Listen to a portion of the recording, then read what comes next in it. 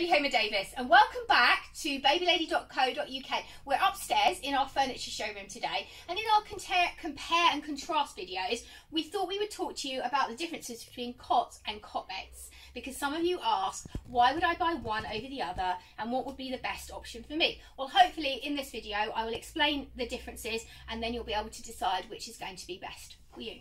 So first of all, I'm going to start with this cot. So this is a standard size cot. Not all cots come up the same size. So obviously if you're buying bedding and mattresses, you will need to check your cot size.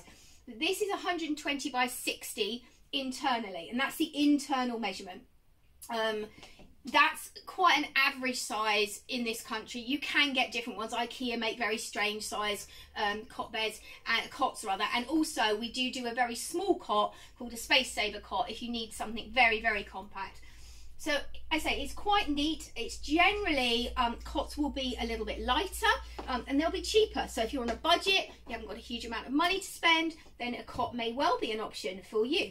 They will still have, our cots all have three position adjustable bases. So you'll be able to adjust the base down.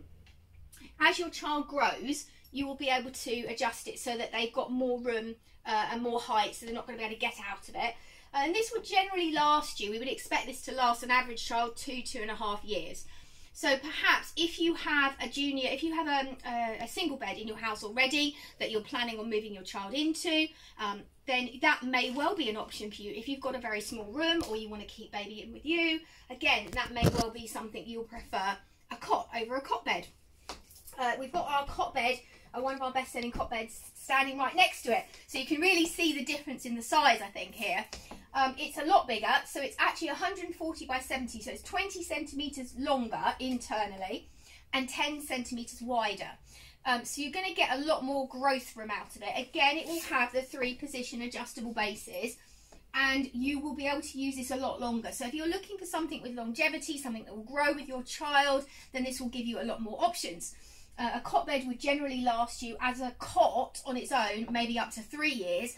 And then you, what you do is you take these panels out here, they actually come apart.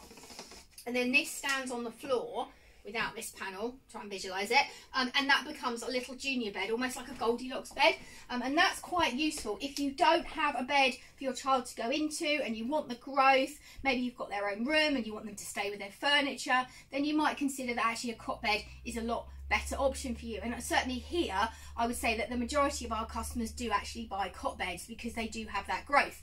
Um, some cot beds we have will have drawers underneath them, so you might like that because it has options in terms of storage. Um, but again, they, they will be generally bigger and last you longer. But that also means they will be more expensive. So you've got to take into account this will cost you more, but it will last you long longer. I mean, you can get cheaper cot beds, but do be careful because if they're very, very cheap, they tend to be very flimsy. Um, I like really sturdy cot beds, and the ones that we buy in here um, are all quite solid. Um, even the clearance ones will be very solid. So with our cot bed, generally we would recommend you buy a sprung mattress for a cot bed. Because you're going to use it longer because you're going to use it five or six years you really do need a good quality mattress in it. If you buy a foam mattress a foam mattress even a good quality foam mattress will generally last you two two and a half years. So it'll tend to dip after a period of time whereas your sprung mattress won't do that. In fact even after five or six years it will look like new. Well our mattresses do and and uh, I've, I've used them myself so I know that they do with your cot, you can get away with a foam mattress because um, you're not going to use it so long. It will still start to dip and you'd be better using a sprung mattress. But if, if you're looking to save money, then a, a, sprung mattress will be more expensive. So again, this may decide, you may decide actually I've got a limited budget that I want to spend on something like this. And that's why a cot is going to be a better option for me. As I said, we talked about the size if you've got a very small space that you wanted to go into, obviously this is significantly smaller. So if you haven't got a lot of room, you may also find that a cot is a better option for you. Uh, whereas if you've got a room that's maybe a little bit bigger, a cot bed may grow better and last you longer. I hopefully have covered some of the main points here. Do feel free to book an appointment to come and see them in person and we can talk to you um, and you can obviously see them for yourself. And if you have got any questions, as I said, do feel free to message us if there's anything you think I've missed.